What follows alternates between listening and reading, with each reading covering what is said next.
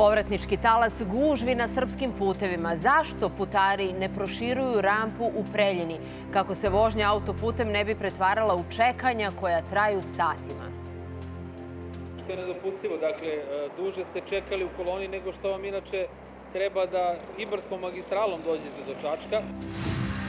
Srbi prevazišli kineski model učlanjivanja u najjaču stranku.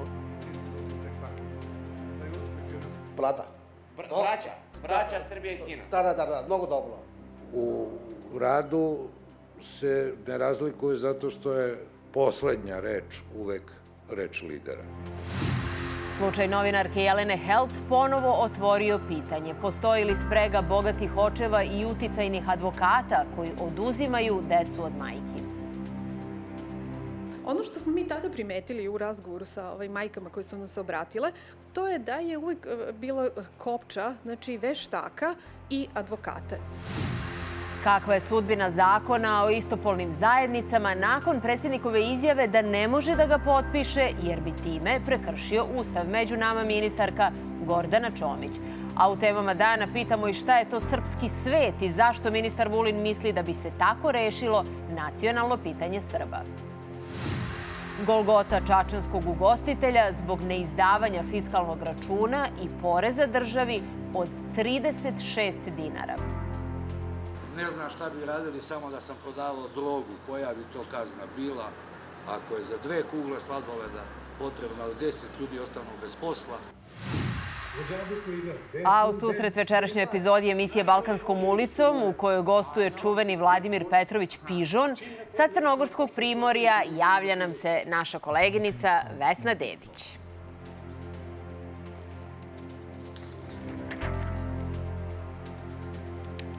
Dobar dan, dobro nam došli. Među nama smo danas na novoj, kao i svakog radnog dana. Naša gošća u prvom delu emisije je Aida Ćorović, aktivistkinja.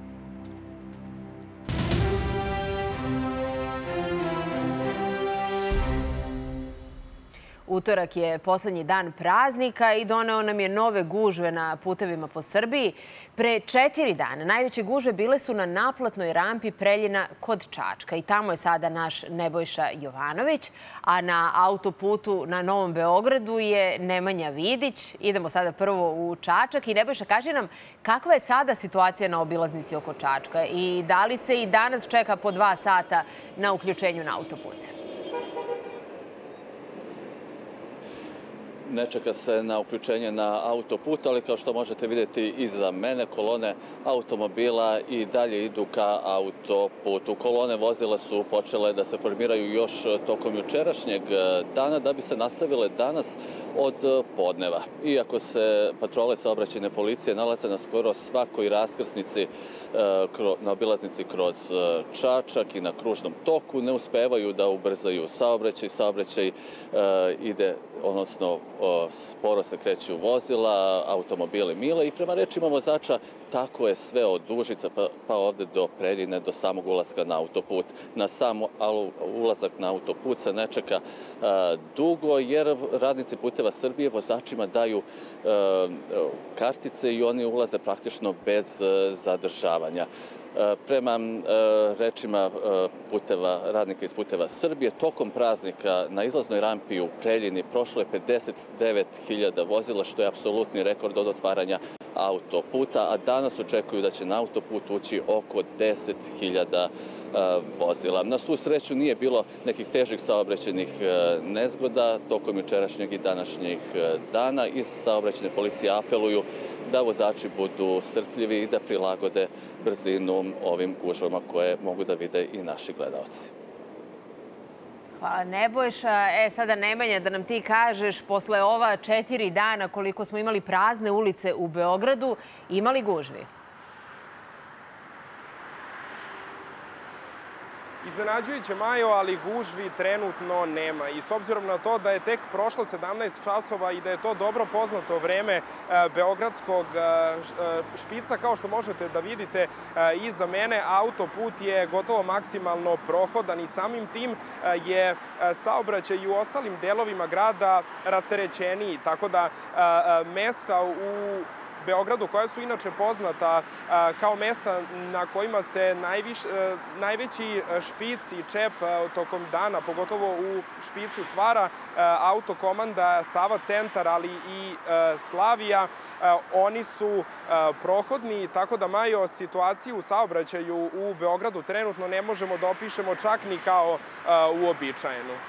Da, da, biće da, da su mnogi ljudi spojili ovaj praznični vikend sa, sa sledećim. Ali mene zanima šta si ti saznao od stručnjaka za saobraćaj? Kako se u stvari trajno rešava taj problem prazničnih zastoja na autoputu Miloš Veliki? Majo, e, stručnjaci problem zapravo vide u e, neodgovarajućoj naplati putarine na, na autoputevima i pored razgovora sa stručnjacima, ja sam danas e, razgovarao i sa ljudima koji su pre četiri dana bili zaglavljeni u gužvi na naplatnoj rampi Preljina i predlažem da pogledamo šta su imali jedni i drugi da nam poruče.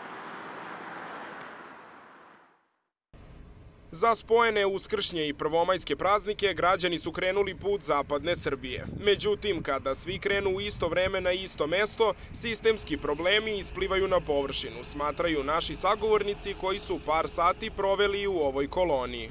Ovde se suštinski desila jedna greška, zapravo još kada je puštena ta deonica autoputa ovaj, ka Čačku ovaj, u saobraćaj, odnosno ostala je ta naplatna ovaj rampa ovaj u Preljini koja je očigledno pravljena kao jedna usputna ovaj naplatna rampa. Ona recimo ima tri ili četiri ulaza odnosno izlaza i sa taj saobraćaj se zapravo tu ovaj nagurao na tu malu ovaj naplatnu odnosno jednu običajnu naplatnu rampu i to jeste trebalo dugo al dakle to očigledno infrastruktura koja nije pravljena da podnese tu količinu saobraćaja. Bila je gužva na samoj naplatnoj rampi, dakle autoput što je što što što je neobično je bio dosta prazan dok nismo došli do naplatne rampe na Preljini i tamo je jedno 5 km recimo bio 5-6 km je bila kolona i trebalo nam je tačno dva i po sata da prođemo tih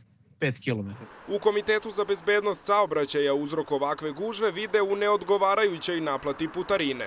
To je nešto što je nedopustivo. Dakle, e, duže ste čekali u koloni nego što vam inače treba da Ibarskom magistralom dođete do Čačka i e, prosto mislim da u takvoj situaciji treba dići rampe, ne naplaćivati putarinu, na kraju krajeva šta vi naplaćujete, kakva je to usluga koju vi naplaćujete, pa odite u neki, to jest idite u neki restoran i, i naručite supu kada vam donesu nakon 2,5 sata, čik nek vam naplate. Da bi se saobraćaj odvijao bez većih zadržavanja, potrebno je proširiti kapacitete saobraćajnica, smatra Okanović. Kapaciteti saobraćajnica moraju da se projektuju ne samo za 360 dana u godine, već i za onih pet kada je saobraćaj intenziviran. Naplatna stanica Vrčin je dobar primer kako može da se organizuje naplata putarine, a da gužve ne bude. Samo treba da primenimo nešto što vidimo da funkcioniše i svakako stimulisati vozače da u većoj meri uzimaju uređe za automatsku naplatu putarine. Trenutno javno preduzeće Putevi Srbije ne nudi praktično nikakve stimulacije za za građane. Tokom proteklog petka i subote kroz naplatnu rampu u Preljini za sat vremena prolazilo je oko 2000 vozila. Nemanja Vidić, Televizija Nova. Hvala mnogo Nemanja, hvala i tebi Nebojša na, na tvom izveštaju. A mi idemo dalje. Nas i Kineza milijarda i po i možda bi to mogla da postane neka nova krilatica kod Srba, budući da već godinama slušamo o bratskim odnosima sa ovom Narodnom republikom. Sve je počelo dolaskom Srpske napredne stranke na vlast, da bi se nastavilo time što je SNS počeo da sve više liči upravo na Komunističku partiju Kine. A tu je naravno i nedavni govor poslanika Luke Kebare. Sajervoja, one sweep, Zong Tong Wu Qi Qi Wan Sui, Sje Sje Hvala. Šta reko ste bre, poslaniče Kebara? Mlada nada SNS-a hit je na društvenim mrežama zbog svog izlaganja na kineskom. Od njega smo naučili i da Vučić na ovom jeziku znači 577. A koliko ga dobro on govori, pokušali smo da otkrijemo gde drugo nego u bloku 70. Danas je i tamo neradni dan, ali smo uspeli da pronađemo nekoliko Kineza koje je Kebarin nastup prilično zabavio. Aha, Vučići. Vučići, da, da, da, Vučići. Vučići, 577, tako. Kin, kineska, kineska. Kineski. A šta kaže? Šta kaže on? Je li politika neka? Ko kaže Vučić dobro, van sui. A. Uczyć dobra. Uczyć dobra, dobra. Kina hopunio. Kina. Kina, kina ova Srbija hopunio. Dobri odnosi. Dobro, dobro, dobro. Dobri odnosi blada, Kina blada. i Srbija. Da, da. Blada. Bra braća, braća Srbija i Kina. Da, da, da, da, mnogo dobro. Mnogo dobro. Da, van svi, da, ovako van svi dobro, da. Je li ovo kineski? Da, dobro, dobro, mnogo dobro. Mnogo dobro? Mnogo dobro. Šta je rekao? Uh, milion godina, milion godina kaže. Milion godina. Da. Prijateljstvo Kina-Srbija ili... Da, da. A kako se kaže na kineskom 577? U, či, či. U, u ili vu? Da. Pet, u. U. Da. U, či, či. Da, da, da. Nedugo po dolasku Vući i Čija na vlast počinje i približavanje dve zemlje uz sve tešnju saradnju, a njegova Srpska napredna stranka vremenom čini se sve više počinje da liči na komunističku partiju Kine. Da li je onda SNS postao, žargonski rečeno, KPK sa AliExpressa? U radu se ne razlikuje zato što je poslednja reč uvek reč lidera. U kineskom parlamentu ima osam ujedinjenih stranaka koje navodno postoje kao stranke, nemaju naravno nikakvu moć, samo podržavaju KPK, odnosno Komunističku partiju Kine. Situacija u srpskom parlamentu vam je poznata i ono što nije u koaliciji sa SNS-om je faktički satelit SNS-a. Druga sličnost da je Xi Jinping i Vučić otprilike imaju iste funkcije, jedan i drugi su predsednik države i jedan je predsednik partije, drugi je predsednik partije, samo što se partije različito zovu. Zanimljivo je i da je delegacija SNS-a pre dve godine bila na studijskom putovanju u Kini, gde su poslati kako bi navodno naučili mnogo toga od svojih komunističkih braće i sestara. Ako su bili u Kini, onda su verovatno učili od Kineza neku tehnologiju a recimo pritiskama da ovde pritisak je malo drugačiji, nije toliko fizički koliko je mentalni preko tabloida. A ako su bili, ja nisam siguran da SNS-ovci nisu članove KP Kine obučavali u nečemu, recimo kontroli medija koja je ovde skoro totalna. Ipak u nečemu je SNS napredniji. Dok je svaki 15. kinez član partije, u Srbiji je čak svaki deveti građanin član najveće stranke. Marko Novičić, Televizija Nova. Naša gošća u prvom delu emisije, Aida Ćorović, aktivistkinja. Dobro mi došli i hvala vam što ste, što ste među nama. Vučići. 577, šta god. 577, Da. kako god. E, a jeste, jeste znali vi za sve ove sličnosti između Ne, ne, našeg ne. vladajućeg sistema i Mislim, kineskog To vladajućeg može sistema? prosto da se vidi, svaki autoritarni sistem liči jedan na drugi, nije to, kako bih rekla, prosto je topla voda, nije ništa a, spektakularno. Meni je samo žao što mi od Kineza nismo učili mnogo pametnije stvari, kineska kultura, kineska tradicija koja traje veko, koje traju vekovima, kineska medicina. Ja bih se više radovala da smo, Majo, u tom smislu nešto učili, a o, o autoritarnoj vlasti to zaista mislim da je naj, najpogrešnije što, smo, što je moglo da se uči Da, od Kineza. samo da, da ne nastave da uče. Znate kako su tamo ograničene društvene mreže, internet, Pa Jeste, sve. jeste. Pa mi smo na, na, na, praktično na, na korak do toga. Ja mislim da Srbija zaista ima jednu, uh, jedan totalitarni sistem. Mi vidimo da je, da je praktično sloboda medija, da više praktično ne postoji, da se, uh, nažalost, da su i mreže na izvestan način kontrolisane. Uh, botovi Srpske napredne stranke su svakodnevno na mrežama i prijavljuju, blokiraju ljude koji bilo kakvu negativnu reč kažu o, o, o Aleksandru Vučiću i Srpskoj naprednoj stranci, tako da postoji ta jedna kontrola na, na, na više nivoa. Takođe nije tajna da se mnogi i telefoni i e, mailovi i po društvenim mrežama, to naravno, već sam rekla, da prosto e, se kontrolišu i od strane, od strane službe državne bezbednosti, da svako ko se smatra neprijateljem e, države jeste pod, pod paskom e, vlasti pre svega e, službi bezbednosti, što je potpuno besmisleno.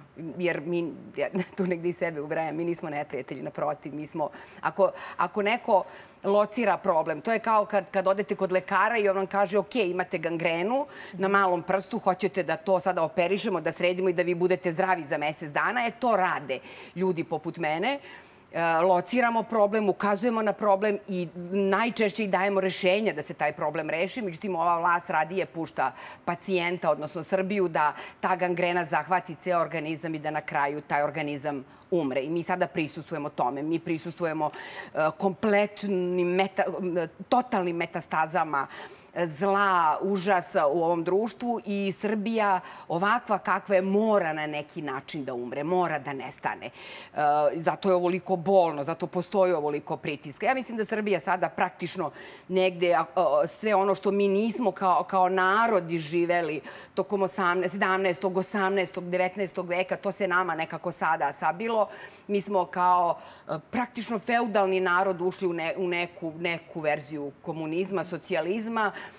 a onda je došla, došli su ratovi, tranzicija i, i neoliberalni, nakaradni neoliberalni uh, sistem i mi sada to sve nekako imamo, tog nekog kvazimoda, to je jedno čudovište koje samog sebe mora da pojede. E pa blago nama ako je tako. Dobro, ali da vas pitam, jeste se osjećali kao neprijatelji sada kada ste bili u Jagodini? Vi ste tamo išli da podržite jest, Mariniku jest, Tepić kada je jest. ona davala svoj iskaz u policiji o svemu onome što ona zna o slučaju Palma. Kako vam je sve to delovalo ovako na licu Pa ja sam, ja sam uh, nijednog trenutka nisam osetila lošu atmosferu. Očekivala sam neku vrstu incidenta, očekivala sam da se možda neki od tih žena ovaj, nama pridruže i ja sam bila vrlo spremna da da razgovaram sa njima. Stvari, najviše sam zato i otišla. Naravno, Mariniku kao moju dugogodišnju drugaricu sam otišla da podržim, to je bilo primarno, ali za mene je ništa manje važno bilo da i tih 400 žena podržimo i ja sam sigurna da među njima ima žena koje zaista na stranu one koji su iz potpuno onako uh,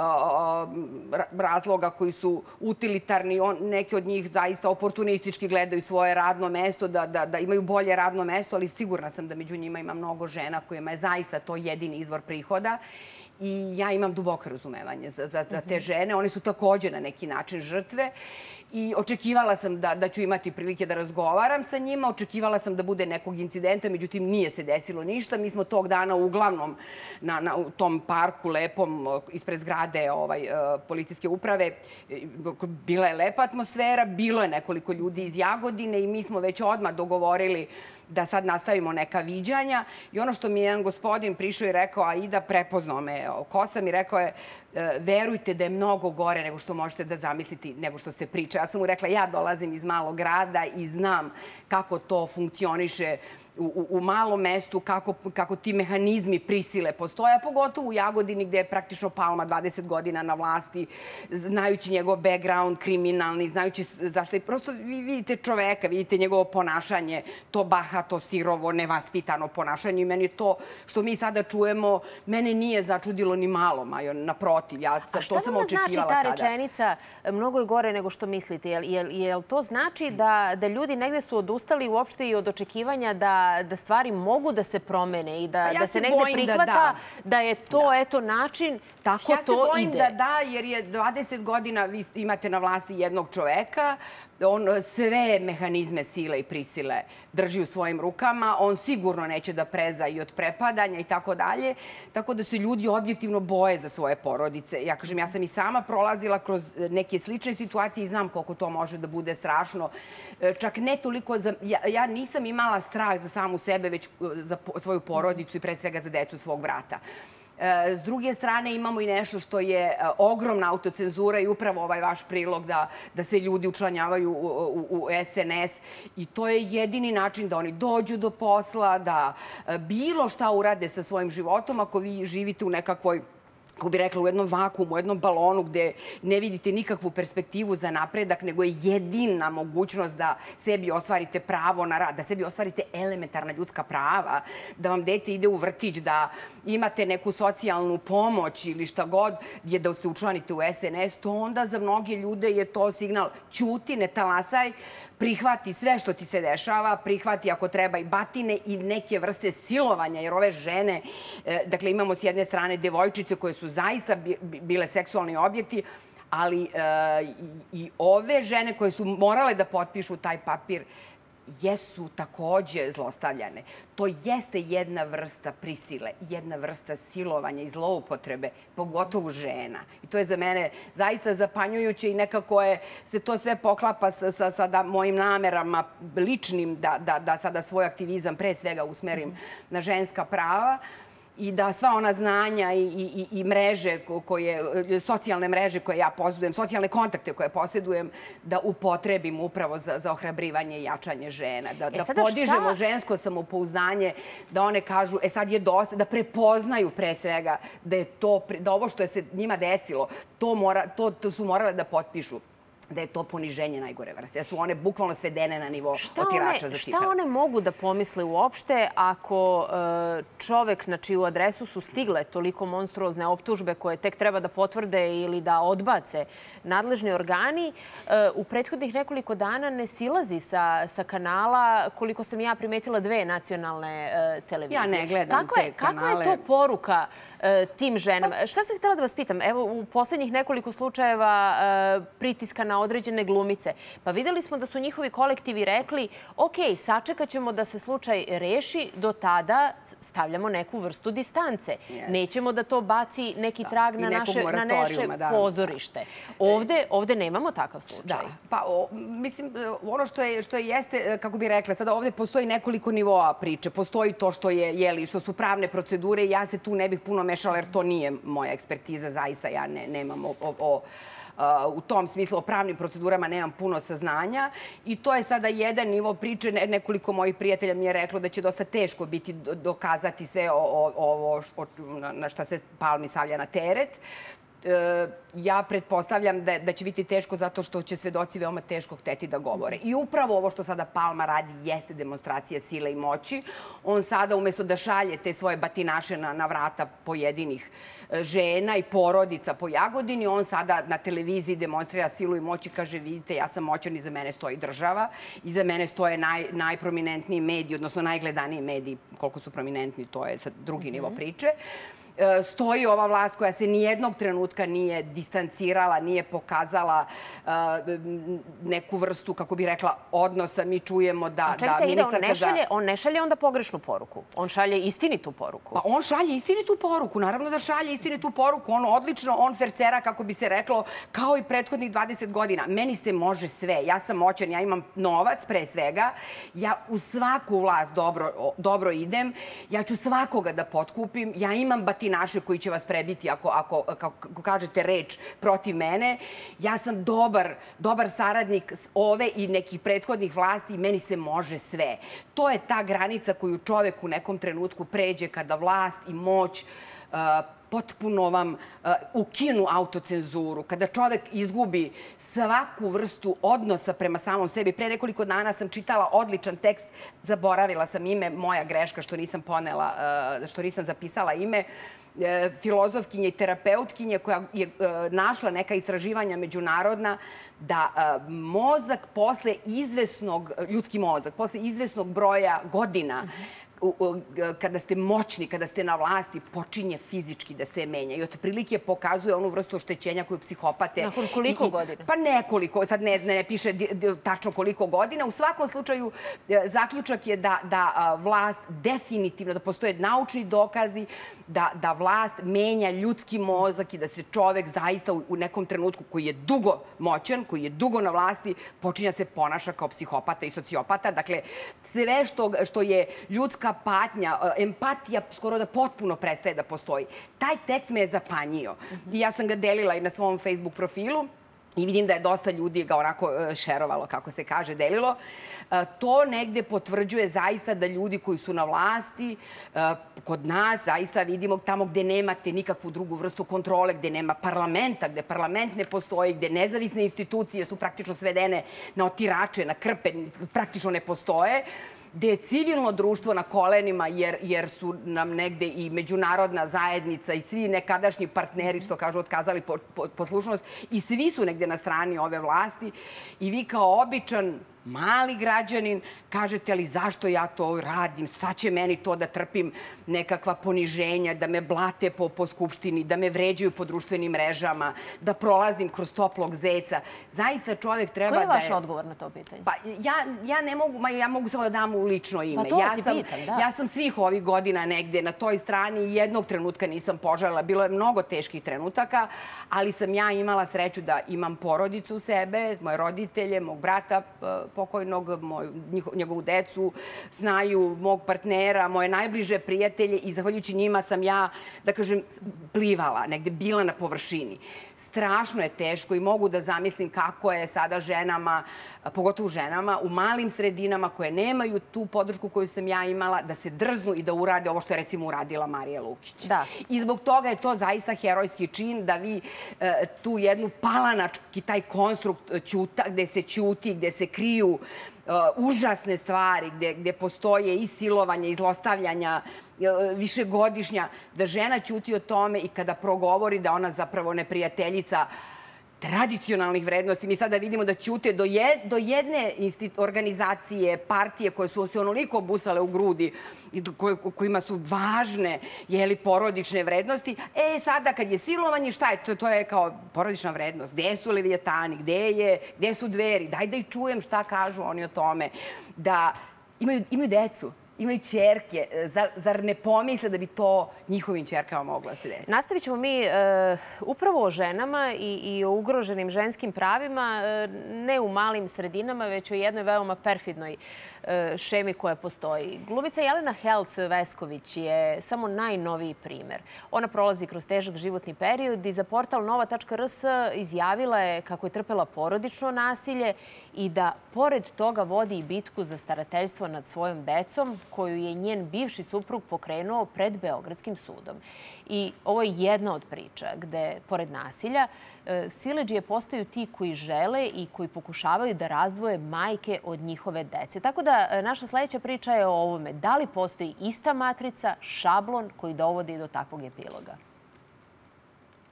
Kratko svedočenje Jelene Helc započinje priznanjem da ona već neko vreme sama sa decom živi u Berlinu u koji se preselila upravo zbog suprugovog posla. Tvrdi da je tamo postala žrtva porodičnog nasilja. Nažalost, naša bajka završila se pozivom policiji koja je morala decu i mene da zaštiti od mog muža. Od tada se borim da sebi i svoje deci obezbedim novi život, u miru i bez nasilja i stresova. Sa suprugom komuniciram isključivo preko advokata. Ona navodi i da je zbog svega u Nemačkoj Milanu Veskoviću zabranjen prilazak njoj i njenoj deci i da je podignuta optužnica protiv njega. Ipak, uporedu sa time, Vesković je, prema njenim rečima, čitav slučaj preneo i na domaći teren. Pre nekoliko meseci moj muž je odlučio da se obrati Srpskom sudu bez da me o tome obavestio i sada u Srbiji pokušava da mi otme decu. Zato je angažovao advokata Dragana Krajnovića, koji je poznat po oduzimanju starateljstva od majke koje su prijavile muževe zbog nasilja. Sumnjivi sporovi koji su se loše završavali po majke. Ovaj advokat i ranije je zastupao politički i finansijski moćne ljude koji su bili u takvim situacijama. U nekoliko sličnih procesa, kada su majke gubile starateljstvo, bila je uključena identična advokatska kancelarija. Ono što smo mi tada primetili u razgovoru sa ovaj majkama koje su nam se obratile, to je da je uvek e, bilo kopča, znači veštaka i advokata. I uvek je bila ista veštakinja, psihološkinja, koja je onda koristila testove koji nisu smeli da budu korišćeni u državi Srbiji. Onda je e, došlo do zloupotrebe e, tih testova i zloupotrebe tumačenja rezultata tih testova od strane veštakinje i na taj način je ona, da kažem, davala prednost kao veštakinja i uopšte ta grupa veštaka davali su prednost tim očevima. Nakon takve postavke, tvrdi naša sagovornica, na scenu su stupale i sudije i tužioci. Kada je u pitanju gospodin Krajinović, tu imate, znate, dodatno činjenicu da on zastupa e, osobe koje e, su članovi vladajuće političke stranke koji imaju jako puno novca, onda se tu vrši jedan stravičan pritisak i na institucije, znači i na sudije postupajući i na tužioce da odluče što prehitno u korist klijenata gospodina Krajnovića. Pokušali smo da stupimo u vezu i sa kancelarijom advokata Krajnovića, ali na naš poziv nije odgovoreno. Filip Vidojević, Televizija Nova.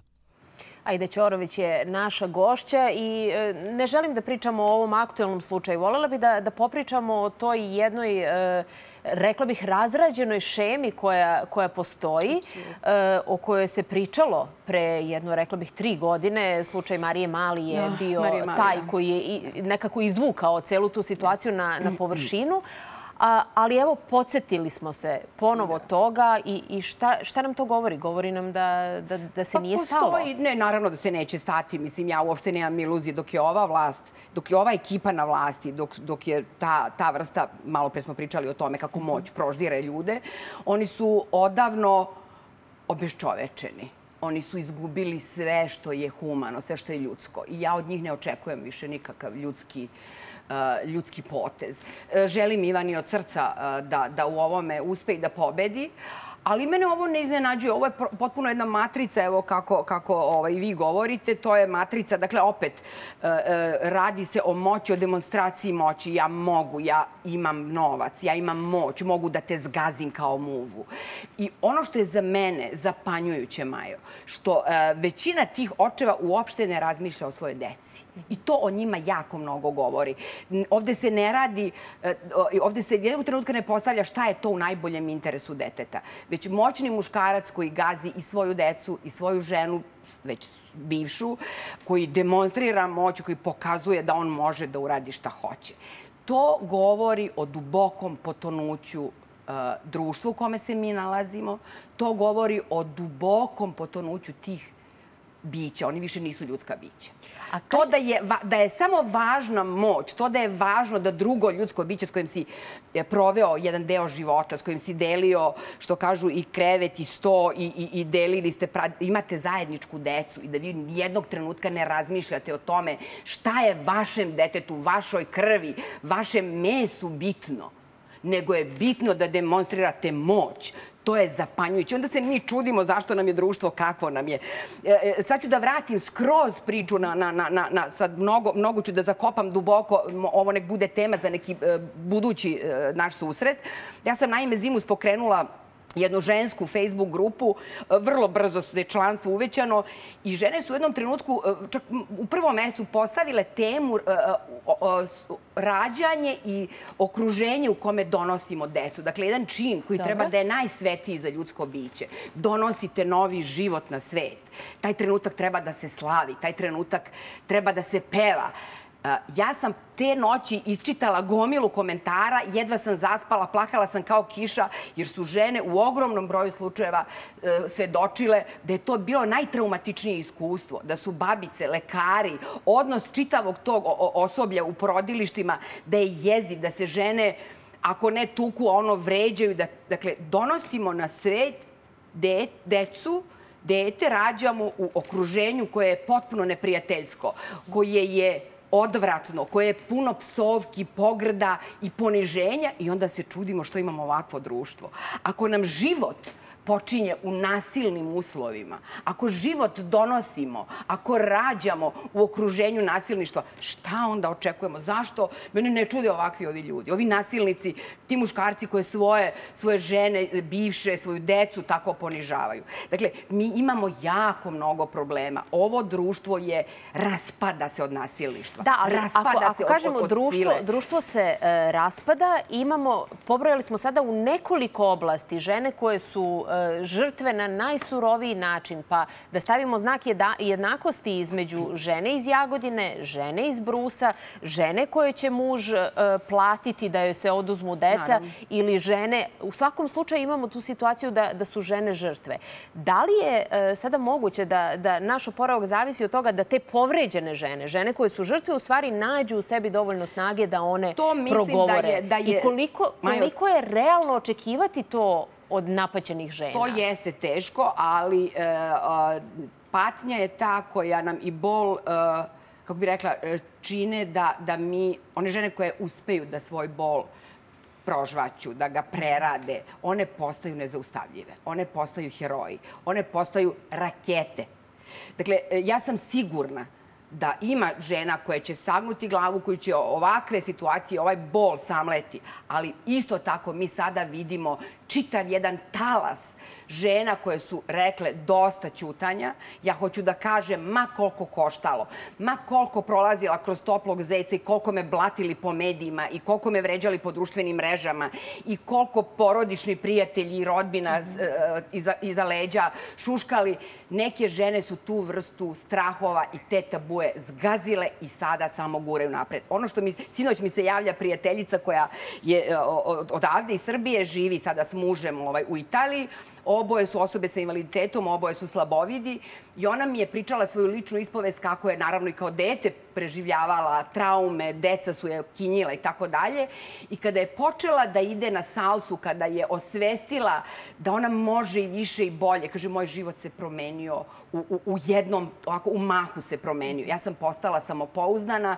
Uh, uh, moj, uh, jeli, kako se to kaže, učitelj plesa mi je rekao, za plesti, za salcu ti ne trebaju oči, treba ti srce. I kaže, moj se život tog časa promenio. I ona mi je sinoć to, ovaj, e, na, na, odnosno glasovnoj poruci poslala, ostaje da se čujemo danas nas dve, da je jako važno da govorimo o samopouzdanju žena. I zato je strašno sada, čini mi se, važno da organizacije koje rade sa ženama, koje se bave ženama, da, da rade na nekom uzajamnom e, osnaživanju, na okupljanju žena, da one pre svega vide da nisu same i ta sinergija kada se desi, čini mi se da sada i na globalnom nivou taj talas posle Me Too i razno raznih sličnih pokreta, žene dobiju nekakav novi, novi zamajac. Ja, Majo, iskreno verujem da sada ulazimo u eru žena i da će svet spasiti žene. Žene koje su prošle kroz agoniju, koje su prošle kroz nezamislive patnje, ali su tu svoju bol uspele da da, da prerade, da, da prožvaću, da, da, da to na neki način e, kako bih rekla, da slome bol i da, da, da iz toga kao Feniks izađu jače, bolje, čvršće, one su nada, one su nada ove zemlje. Da. Ja u to čvrsto verujem. U, u ovim svim slučajevima e, progovarale su mlađe žene, sa izuzetkom Marije Lukić, e, kada govorimo o glumicama, progovarale su žene koje imaju e, svoju karijeru koju baš ne može neki moćnik da im, da im uništi tek tako. Marija Lukić je e, zaista heroina i Absolut. verujem da, da bi trebalo da bude heroina Absolut. svakoj devojci i svakoj uh, ženi u Srbiji. Ali i za kraj, bacit ćemo sve druge teme za, za kraj, kako, kako doći do toga ako, ne znam, jednoj Danijeli Steinfeld u tužilaštvu kaže pa mi ne možemo da vas zaštitimo, niti možemo da, da zaštitimo da. vašu, vašu privatnost. Ako Marinika Tepić kada dođe da sve prijavi, E, da kaže, ja, ja odgovaram da, za to da imam absolutno. ispovesti tih žena, ali ne smijem da dam Naravno. njihovo ime, jer Naravno. možda će njima biti volšebno obijena brava na, na stanu. Dakle, kako se onda borimo sa tim? Evo i da pa sa tim to završimo. Je, to je to ono što sam rekla. Pre svega uh, je važno da jedna drugoj pružimo nadu, utehu, da pružimo znanje, da damo oružje. Mislim, možda je pregruba reč. Ja već neko vreme ne, svoje aktivnosti ne, ne, ne zasnivam na protiv nekoga, već za nešto i mislim da je to strašno važno. U ovom slučaju mi sada ne, ne, ne borimo se ni protiv Jutke, ni protiv Palme, mi se borimo za te žene. Borimo se za njihovu sigurnost, za njihovu bezbednost, za njihovo samopouzdanje, za njihovu snagu. Uh, mislim da je sada jako važno da budemo na terenu. Ja evo sad sa nekim uh, prijateljicama i drugaricama s kojima smo već bile to u Jagodini, znači pre par dana, Već planiramo sada u maju već jedan odlazak tamo. E, vidjet ćemo i sa Marijom da napravimo i u Brusu jedan javni razgovor, da dođu žene koje su spremne da svedoče o svojim traumatičnim iskustvima. To su žene koje nisu ni, ni javno poznate, ni, ni prominentne, ali žele da podele to svoje iskustvo. I kada žena ženi, ja sam to kroz traumatična iskustva kada, kada su žrtve ratnih zločina, prisutovala sam takvim trenucima koji su bili prebolni, pretraumatični, žene se najpre isplaču i daju jedna drugoj ruku i kažu dobro, evo sada zajedno idemo da, da, da, da pobedimo. I mislim da je to, Majo, taj trenutak, tada se dešava taj klik, tada se dešava taj preokret. To je toliko katarzično. Samo onaj, is, kažem, ko je, ko je prisustvovao takvim okolnostima i takvim trenucima zna koliko je to moćna, moćna snaga i moćna situacija. Dakle, ja duboko verujem da samo ozbiljnim, dugotrajnim i upornim radom na terenu, sa davanjem e, mnogo strpljenja, mnogo ljubavi, mnogo, mnogo slušanja, s jedne strane mnogo pričanja, mnogo suza, zašto da ne, e, ali pre svega ljubav i dobra volja su te koje mogu da nam pomognu, da dođemo do srca tih žena i ja mislim da ćemo za dve godine mi potpuno biti drugačije društvo. Ja duboko verujem u to. Hvala mnogo, Aida. Hvala vama, hvala vama na pozivu. Aida Ćorović je bila među nama. Banka reproduktivnih ćelija, kada je otvorena pre dve godine, je bila nada za mnoge parove da će postati roditelji, ali je pandemija koronavirusa usporila proces. Međutim, e, nije pandemija jedini problem. Donacija spermatozoida i jajnih ćelija ne funkcioniše, izgleda da nema dovoljno donora, tako da ljudi i dalje odlaze u inostranstvo. Zbog čega? I kako motivisati donore da pomognu parovima koji sami ne mogu da se ostvare kao roditelji? Postati roditelj san je skoro svakog para. Nažalost, nekada i teško ostvarljiv. Danijela Nikolić posle pet neuspešnih pokušaja van telesne oplodnje i čak 17 godina borbe otišla je u banku reproduktivnih ćelija u Češkoj i danas je mama blizanaca Nikole i Vere. Mnogo bi mi pomogla tada, ovaj, verujem i parovima koji će se ostvariti kao roditelji donacijom, da je to postojilo u našoj zemlji. Samim tim prvenstveno zbog financija. Mnogo bi me manje koštalo, ovaj, ne bih imala tih dodatnih troškova zbog putovanja i svega ostalog. Iako je 2017. usvojen zakon koji dozvoljava donaciju reproduktivnih ćelija, a zatim doneti i pravni akti koji definišu ko može biti davalac, nešto je ostalo nedorečeno. Kada su u pitanju primalci, s te strane mi nemamo za sada još uvek definisane uslove ko bi se mogao da bude primalac. Tako da donora nemamo, imamo svega nekih 15 muškaraca koji su voljni da daju svoj materijal. Što se tiče žena, procedura za doniranje reproduktivnih ćelija, jajnih ćelija je nešto komplikovanija. U drugim zemljama donorke dobijaju finansijsku podršku za putne troškove i odsustvo s posla, dok kod nas još uvek to ne funkcioniše. Veliki problem je i neinformisanost ljudi, naročito mladih žena koje bi mogle biti donorke. Starosna granica za njih je 34 godine, a za muškarce 40. Naš zakon je definisao mogućnost davalaštva, tačnije doniranja reproduktivnog materijala jedan na jedan. Šta to znači? To znači da jedan davalac može da donira svoj reproduktivni materijal samo jednom paru koji će dobiti dete iz tog materijala. Znači nije moguće ono da se donira nekoliko puta različitim parovima. Dobra informisanost, jaka medijska kampanja, finansijska podrška donorima, ali i tačno definisanje puta koji donor mora da prođe od trenutka javljanja banci pa do samog doniranja, rešenje je za ovaj problem, zaključuju stručnjaci. Glavni inženjer aviona, motora i sistema JAT tehnike Slobodan Kolaček se pismom obratio najvišim državnim zvaničnicima i ukazao je na zabrinjavajuće stanje u ovoj firmi, na loše poteze novog menadžmenta, ali i na kršenje ugovora o prodaji kapitala JAT tehnike. Umesto inspekcije koja bi proverila njegove navode, on je dobio otkaz. 35 hektara zemlje, dva hangara za 12 aviona, motorska radionica, motorski probni sto i znanje 700 visoko kvalifikovanih i iskusnih radnika, sve je to prodato za 10 miliona evra na, kako kažu sindikalci, nameštenom tenderu stranom kupcu. No tu mukama nije kraj. Novi vlasnik tvrde sindikalci ne poštuje ugovorne obaveze, a nekada poznata kompanija polako, ali sigurno tone. Rušene su kancelarijske zgrade da bi se uštedilo na grejanju. Pred samu novu godinu srušena su tri velika magacina. Ljudi su do, izgubili sve, sve beneficije, znači jubilarne nagrade nema, hrana je nešto mizarna, od tih e, stvari što je trebalo da se investira u, u ovaj, našu firmu za prvu godinu, a obaveza je bila 2 miliona evra, ja ne vidim ništa od nijednog jednog evra, ne vidim. Političke elite više štite prava nekih izvan ove zemlje nego građana i zaposlenih u ovoj zemlji. Zakonom o radu svako ima pravo pogotovo predsjednik sindikalne organizacije, da se raspita o ekonomskim, socijalnim perspektivama, uslovima, kakva je perspektiva zaposlenih. Zbog lošeg stanja u JA tehnici, Slobodan Kolaček je pisao svim nadležnim, pa i otvoreno pismo predsjedniku Vučiću. Odgovore nije dobio, ali je zato posle 36 godina službe, 10 meseci pred penziju, dobio otkaz. U obrazloženju stoji da je odao poslovnu tajnu trećem licu, u ovom slučaju direktoratu civilnog vazduhoplovstva. To nije ni prvo, to je nulto lice. I po, po zakonu o vazdušnom saobraćaju u članu 17 i 17a Svako ko radi u vazduhoplovstvu ima obavezu da prijavi sve što, je, što primeti.